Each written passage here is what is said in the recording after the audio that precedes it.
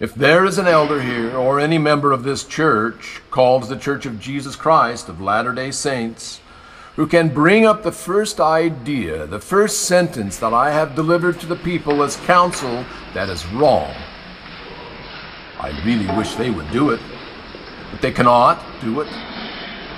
For the simple reason that I have never given counsel that is wrong.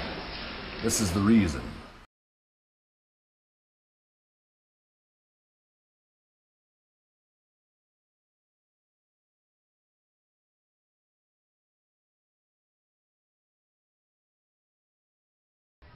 I say, rather than that apostates should flourish here, I will unsheath my bowie knife and conquer or die. They passed a law that a man should have but one woman, and this started monogamy and the downfall of the plurality system.